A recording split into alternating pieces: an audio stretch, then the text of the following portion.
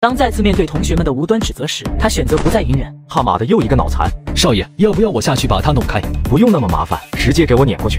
是。随着保镖的一脚油门下去，夏沫顿时被吓得连连后退，随后直接摔倒在地。太过分了！我要和你这种人渣一刀两断。一刀两断？那你想怎么断？我我，总之就是要断，除非你马上跟我去找魏翔学长道歉，并保证以后再也不欺负他，否则这件事我跟你没完。好，好，好，说得好！你他妈的从初中开始就接受我们魏家的资助，每月三千元，持续了六年，还有你身上穿的，平时吃的、喝的、用的，哪一个不是我魏家出的钱？想断了是吧？好啊，还钱啊！随着魏晨的一声怒吼，夏沫瞬间就慌了神。我心怀善意，想把你拉出泥潭，可你却忘恩负义，假清高，拿着我魏家的钱财供养你们一大家子吸血鬼，还口口声声在我面前喊仁义道德，想立圣母小白花人设是吧？我我没有，你没有。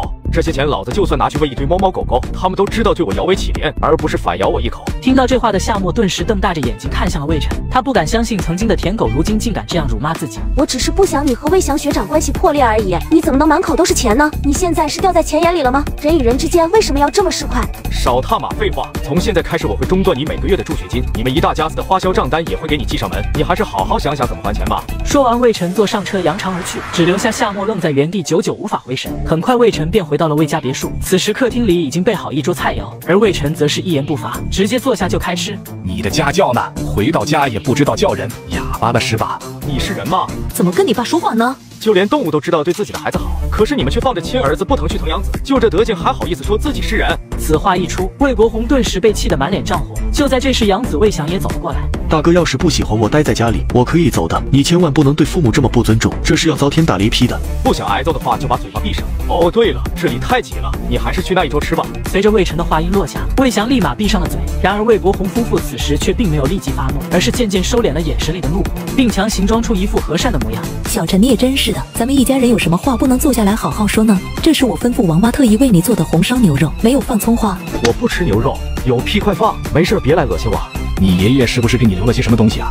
爷爷留了什么你不清楚吗？当初他老人家死的时候，你可是巴不得把一根毛都搜刮干净吧？连远在燕京和省里的代姑二姑都分不到一丁半点。你别扯其他的，我说的不是股份和房产。老头子是不是给你留了情报网、人脉，还有各大家族的把柄之类的东西？你还是个未成年，有些东西你把握不住的。现在不知道多少人在背地里想弄死你呢！快把东西全部交出来！是啊，我们当爸妈的怎么能眼睁睁看着你出事呢？你把情报网交出来，把知道的一切信息都交代清楚，以后你老老实实读书就好了。听到这里，魏晨不由得笑了出来。他们不知道的是，老爷子并没有留下什么情报网，只不过是他前世知道了太多秘密而已。你笑什么？快点交出来吧！我们魏氏集团最近与锦江集团有个大项目在推进，姓谢的半分情面都不肯让步。你把他黑料拿出来，我非得让他狠狠出一次血不可。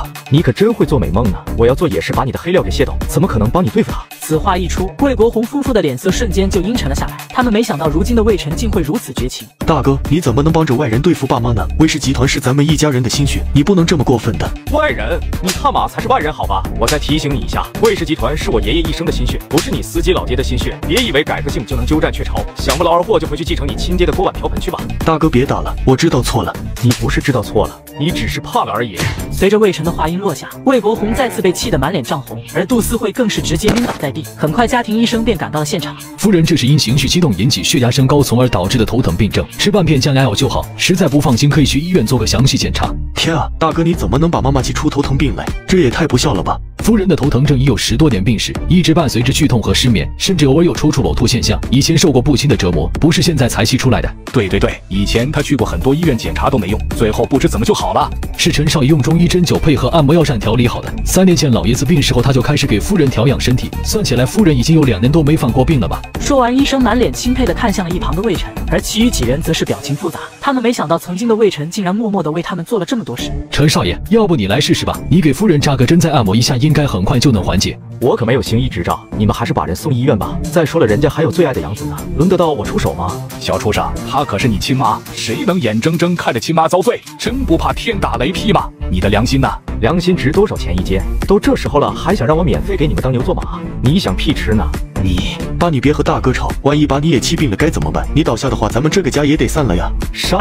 说完，魏晨头也不回的离开了客厅，只留下众人愣在原地瞠目结舌。片刻后，清醒过来的杜思慧突然坐了起来。不行，我得找小陈说清楚，这些天是我对不起他，可毕竟母子哪有隔夜仇，他一定会原谅我的。很快，杜思慧便来到了二楼。然而，正当他想要上前推门时，却被保镖拦了下来。夫人，请止步，少爷不喜欢有外人踏足二楼。外人？我是他吗？赶紧让魏晨出来一下，就说我很难受。少爷在休息，任何人都不得打扰，特别是夫人你。少爷特意交代过，犯病了就去医院，死了也别来烦他。听到这话的杜思慧顿时只感觉五雷轰顶，头晕目眩。此刻他才终于意识到魏晨根本不是在闹别扭。就在这时，魏家几个姐姐终于赶了回来。